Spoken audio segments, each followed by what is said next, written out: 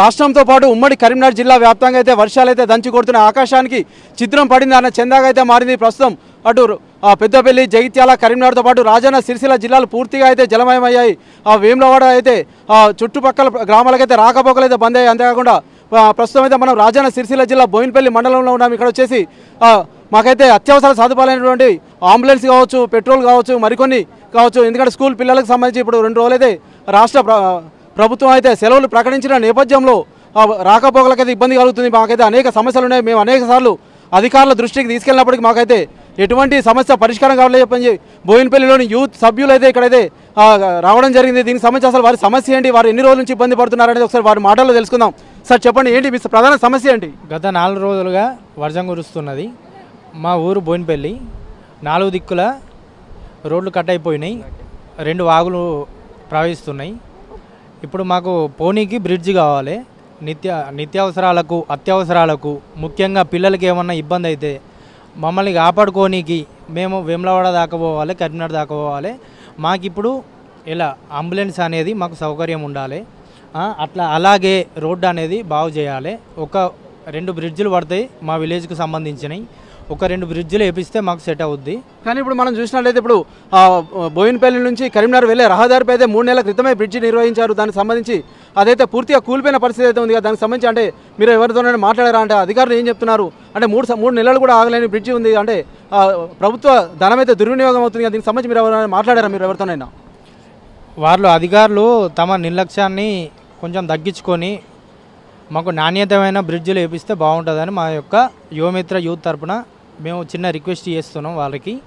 అలాగే మాకు సంబంధించి ఇంతవరకు మాకు తగిన సహాయాలు అయితే మేము చేస్తున్నాం. కానీ అంబులెన్సు ఇప్పుడు రహదారులు అనేటివి మూసుకుపోవడం వల్ల ఒక వెహికల్ ఓనికి ఇబ్బంది అవుతున్నది. ఆ వెహికల్ వెళ్ళడానికి మాకు కనీస సౌకర్యం కూడా లేదు. ఇప్పుడు మీరు చూస్తున్నారు చూస్తున్నారు కాబట్టి ఇప్పుడు ఆ వాగును చూస్తే తెలుస్తుంది మీకు. వెహికల్ వెళ్తుందా వెళ్ళదా అని చెప్పేసి. మాకు కంపల్సరిగా ఒక అంబులెన్స్ అనేది మా మండలకు కేటాయిస్తే బాగుంటుంది. మాకు ఏదన్నా అవకాశం మాకు ఏదన్నా అవసరం ఉంటే దాన్ని మేము యు వినియోగించుకోవడానికి కొంచెం బాగుంటుంది. ఇప్పుడు చాలామంది యువకులు ఇప్పుడు ప్రైవేట్ సెక్టార్లో జాబ్ చేస్తున్నారు. వాళ్ళు వెళ్ళడానికి తీవ్ర అంత అంతరాయాలు కలుగుతున్నాయి. ఇప్పుడు వాళ్ళ సార్లు ఫోన్ చేసేమో మీరు ఎందుకు రావట్లేదు? ఇటు సైడు మాకేం వాగులేం లేవు కదా. మేము వచ్చినాం కదా. మేము కమ్నాడు నుంచి వస్తున్నాం అని చెప్పేసి వాళ్ళు మా వాళ్ళకు చివాట్లు పెడుతున్నారు. మా వాళ్ళు తా తీవ్ర ఇబ్బందికి గురవుతున్నారు. దీన్ని కొంచెం అధికారులు పట్టించుకొని మాకు బ్రిడ్జ్లు అనేది ఏర్పాటు చేస్తే బాగుంటుందని మా యొక్క కోరిక. ఓకే. సార్ చెప్పండి ఇప్పుడు ప్రస్తుతం చూస్తున్నట్లయితే కొంతమందికి అయితే ఇప్పుడు ఈ వాగు బయట అయితే పొలాలు ఉన్నాయి మేమైతే రైతులా ఉన్నాం మేము. ఈ పొలాలు దాటి అయితే మేము మా పంట చేయలేక పోలేని పరిస్థితి ఉందని చెప్పేసి అయితే కొంతమంది చెప్తున్నారు. అంతేకాకుండా కొంతమంది అయితే పిల్లలు సైతం ఇప్పుడు స్కూల్ అయితే మళ్ళీ ఓపెన్ అవుతున్నాయి. రేపైలు అయితే ఓపెన్ అవుతాయి. దీనికి సంబంధించి పిల్లలు రావడానికి కూడా ఇబ్బంది పడుతున్నారు. దీనికి సంబంధించి ఏం చెప్తారు? అంటే పొలాలకు సంబంధించి రైతులు కావచ్చు అంటే ఇప్పుడైతే వన్- వరి చేనులు అయితే వేశారు. కొంతమంది రైతులు సైతం మేము నష్టపోయాయని చెప్తున్నారు. ఏం చెప్తారు సార్? సార్ ఇప్పుడు మాది బోయినపల్లి మండలం. ఇది పేరుకే మండల కేంద్రం కానీ నాలుగు ఇది ఇప్పుడు ఏ ఎటు వెళ్ళాలన్నా రహదారి దీనికి నాలుగు రూట్లు ఉన్నాయి. నాలుగు రూట్లు టోటల్గా బ్లాక్ అయిపోయాయి. ఇప్పుడు ఇది మనం ప్రజెంట్ ఉన్నది బోయినపల్లి టు వెమ్లవాడ రోడ్డు. వేములవాడ రోడ్డుకి సరైన సదుపాయం లేదు. వేములవాడ టు కుదురుపాకి సరైన సదుపాయం లేదు. మొన్ననే రీసెంట్గా బోయినపల్లి టు కరీంనగర్కి మర్రపేట వయా మర్రపేట రోడ్ వేశారు. అది ఒకటే ప్రజెంట్ ఇదే ఇదే వానాకాలంలో ఒక్క సీజన్ కూడా ఆగకుండా కూలిపోయింది మొత్తం. ప్ర ప్రజెంట్ ఏం లేకుండా కూలిపోయింది. ప్రజెంట్ మండల కేంద్రానికే ఎటువంటి అంటే ఒకవేళ అంబులెన్స్ రావడానికి కానీ ఎమర్జెన్సీ టైంలో ఎవరైనా బయటకు తీసుకుపోవాలన్నా ఎటువంటి వాహనం బయటకు వెళ్ళాలన్నా కూడా మాకు ఎటువంటి సదుపాయం లేకుండా పోయింది. ఇంకోటి రైతుల విషయానికి వస్తే ఈ వర్షాల వల్ల మొత్తం అందరి రైతులు నష్టపోయారు. ఆ పొలాలకి ఈ ఒక ఈ బ్రిడ్జ్ నుండి ఈ వా- కాలువలు బాగుంటే ఈ రోడ్డు ఎక్కే పరిస్థితి లేకుండా ఉండేది. కనీసం బ్రిడ్జ్లు బాగుంటే రైతుల కన్నా కొంచెం నష్టం తక్కువ అయ్యేదని నేను కోరుకుంటున్నాను. ఓకే. అంటే ప్రధానంగా యువతే దేశానికి వెన్నెముక అంటుంటారు కదా మరి దీనికి సంబంధించి ఇప్పుడు ఒకేలా వీరు ఈ వేయని పక్షంలో మీరు ఎలాంటి కార్యాచరణ ముందుకు పోతా అనుకుంటున్నారు అంటే ఇప్పుడు మీరైతే చాలా మంది యువత అయితే ఉన్నారు ఇక్కడ.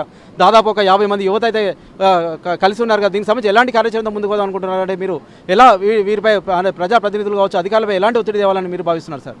ఇప్పటికైతే ఇప్పుడు ఈ- ఈ వానాకాలం వచ్చేసి ఫోర్ సీజన్స్ అవుతున్నది ఇప్పటికీ ఎమ్మెల్యే కానీ ఎవరైనా కానీ ప్రజా ప్రజాప్రతినిధులు కానీ పట్టించుకోవడం లేదు.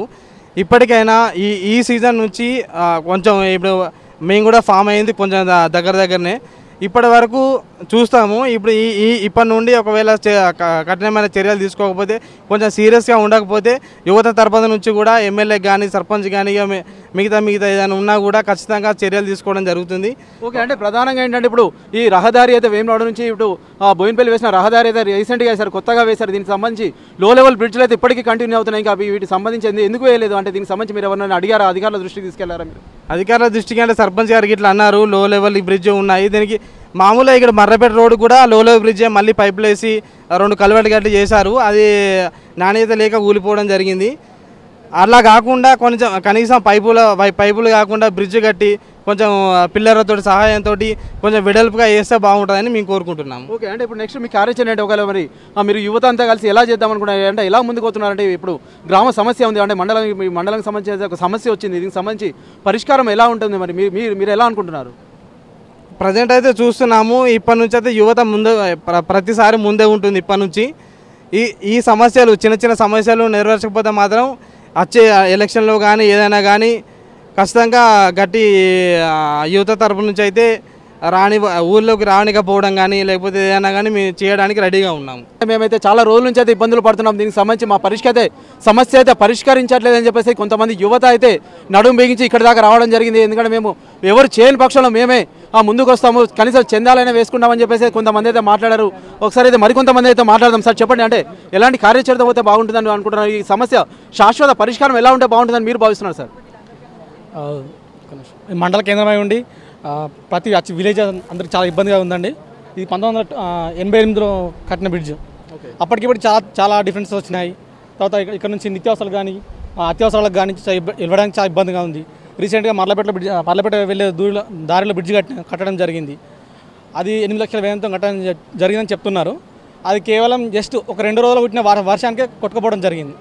ఇట్లాంటి నాణ్యత లేని పనుల వల్ల ప్రజలకు చాలా ఇబ్బంది కలుగుతున్నది. ఇది ఈ ఒక్క విషయమే కాదండి. చాలా రకాల చాలా రకాలుగా. ఇప్పుడు ఎమ్మెల్యే గారు మాకు బోయింటిల మండలం రా ఏమన్నా జరిగింది చూడడానికి రావడానికి కూడా రా రాకుండా అయిపోయింది. అంటే ఇప్పుడు గత రెండు రోజుల గురించి కురిసిన వర్షాలకి ఎలా ఉండేది? ఇంకా వర్షాకాలం చాలా ఉంది.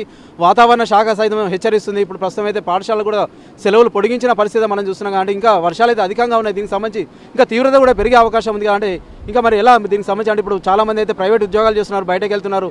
ఇంకా ఎలా సార్ మరి దీనికి సంబంధించి? అంటే చాలా మంది పెట్రోల్కి సంబంధించి కావచ్చు అంబులెన్స్ కావచ్చు చాలా అత్యవసర సదుపాయాలకు సంబంధించి చాలా ఇబ్బందులు పడుతున్నారు గ్యాస్ సిలిండర్స్ కావచ్చు ఊళ్ళోకి రాలేని పరిస్థితి ఉంది అంటే మరి ఎలా దీనికి సంబంధించి? హైలైన్ బ్రిడ్జ్ కట్టాలండి. హైలైన్ బ్రిడ్జ్ వల్లనే ఏదైనా సాధ్యం అవుతుంది ప్రస్తుతం అయితే మేము మేమైతే చాలా ఇబ్బందులు పడుతున్నాం. ఎందుకంటే అంబులెన్స్ కావచ్చు గ్యాస్ సిలిండర్స్ కావచ్చు పెట్రోల్ కావచ్చు అంతేకాకుండా నిత్యావసర సరుకులు సైతం మేమైతే తీసుకురావాలని పరిస్థితి అయితే మా దగ్గర ఉంది అని చెప్పేసి కొంతమంది అయితే చెప్తున్న పరిస్థితి అయితే ఉంది. సార్ చెప్పండి ఇక్కడ అసలు మొత్తం ఇక్కడ దీనికి సంబంధించి ఎన్ని గ్రామాలు ఉన్నాయి? అంటే ఎంతమంది ఉన్నారు? గ్రామ జనాభా ఎంత ఉంది ఇక్కడ దీనికి సంబంధించి? దీని పూర్తి వివరాలు ఏంటి సార్ ఇక్కడ? మే- మా మండల కేంద్రంలో ఒక మూడు వేల నుంచి మూడు వేల ఐదు వందల మంది యువత ఉన్నాం. అందరూ దాదాపు ఒక్కొక్క విలేజ్లో యూత్ తరపునే ఉన్నారు. ఇప్పుడు మా మా యూత్ తరపున మేము ఒక వంద మంది ఉన్నాం. ప్రతి ఒక్క విలేజ్లో హండ్రెడ్ మెంబర్స్ ఉంటారు. ఒక యు యువత అనేది తలుచుకుంటే ఏదైనా కానీ చేంజ్ అవుద్ది. దీన్ని దృష్టిలో పెట్టుకొని అధికారులు తొందర స్పందిస్తే బాగుంటుంది. మండల కేంద్రం కాబట్టి మండల కేంద్రాన్నే బాగు చేసుకుంటే తర్వాత మేము విలేజ్లను బాగు చేసుకోగలుగుతాం. మండల కేంద్రం ఇలా ఉంటే పక్కకున్న విలేజ్లు ఎలా ఉంటాయి అనేది మీరే అర్థం చేసుకోగలరు.